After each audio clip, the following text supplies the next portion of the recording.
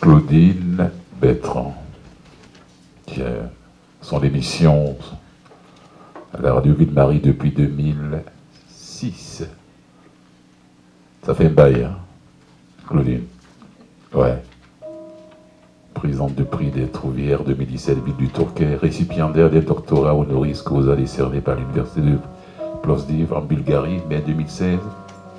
Mérite du prix Alexandre Ripo 2016 Paris pour Fleur d'orage, Henri, ainsi que le prix européen Virgile 2017 pour l'ensemble de son œuvre? Ma chère Claudine, c'est une joie pour moi de participer ce soir à cet hommage si mérité qui t'est rendu. Nous étions dans une vie antérieure quand nous nous sommes rencontrés, la vie syndicale. Toutes deux dans la FNEC, toi comme présidente du syndicat des professeurs du Collège de Rosemont, moi comme responsable des moyens d'action au Collège de Tetford Mines, aucun apitoiement dans ton écriture, mais plutôt le désir de mettre des mots justes sur la réalité. Je me souviens de très beaux moments que nous avons passés à échanger ensemble chez moi, assises à la table de la salle à manger, un café ou un verre de vin à la main. Grâce surtout à ton multiple et généreux engagement dans la vie littéraire du Québec et dans sa diffusion partout à l'étranger. À Paris en particulier, où tu as organisé de multiples lectures d'écrivaines auxquelles j'ai été chaque fois heureuse que tu m'invites. Trace, titre de l'autobiographie de Niki de Saint-Phal, dans laquelle, s'adressant beaucoup plus tard à sa mère morte, elle écrit Mais j'entends fort ta voix, amie Claudine, dans la sienne, et je la cite. Pour vous, maman, tout devait être caché. Prochaine invitée, Diane Reichenbald, une amie à Claudine aussi qui va, lui, à sa manière, témoigner son amitié. Mesdames et messieurs, on accueille chaleureusement Diane Reichenbald. Chère Claudine, écrivaine, féministe, femme engagée, toi, la voyageuse amoureuse, les écouter, les lire, les interviewer, par le moyen d'émissions littéraires que tu pilotes depuis tant d'années, par des anthologies que tu coordonnes, tombées du jour. Entre les tumultes du torrent, sous sa face cachée, des amants se noient. En 96, Louise Baudouin, alors ministre de la Culture et des Communications, avait déjà reconnu l'importance de la revue dans un texte lu lors de la soirée du 15e anniversaire d'Arcade. Et je la cite parce que je ne saurais dire mieux.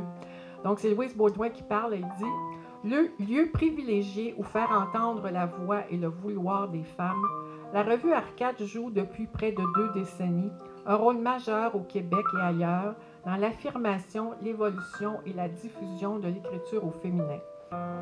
Mais le seul code que nous pouvons t'assigner, Claudine, c'est celui de poète. Et c'est pas le moindre. Et ce qui fait que, comme tous les poètes, tu es si sensible au passage qui nous lie au grand univers.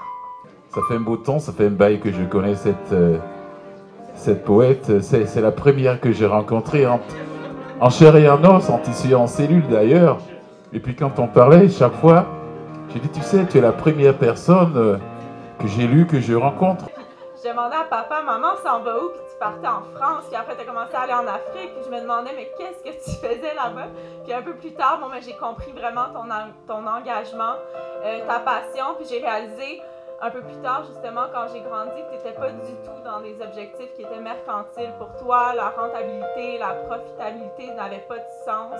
Euh, tu as toujours voulu redonner aux autres, redonner aux, même aux personnes plus marginalisées qui tourne la page, qui parle quand j'écris, dicte mes paroles, guide ma main sur le parchemin, et je me laisse toujours égarer. À quoi viva, por favor? J'ai soif de mots. Je parle toutes les langues intergalacticales. Je me sens désemparée. Je ne peux rien dire.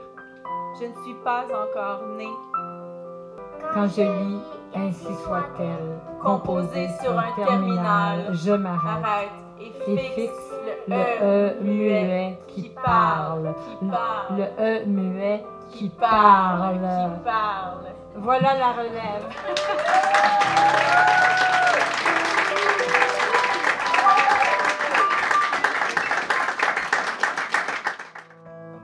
Donne-moi le buffet j'avale le temps qui me pourrit les yeux à force d'être pieuse.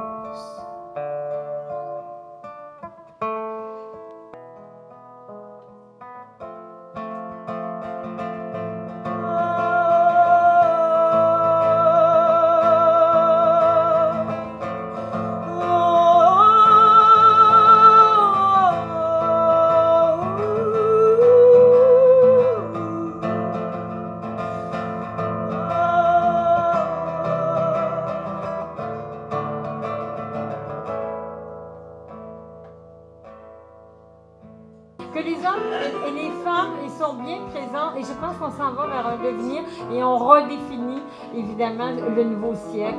Et finalement, il m'a dit, je les ai lus en cachette et euh, voilà, et que là, c'est son deuxième recueil.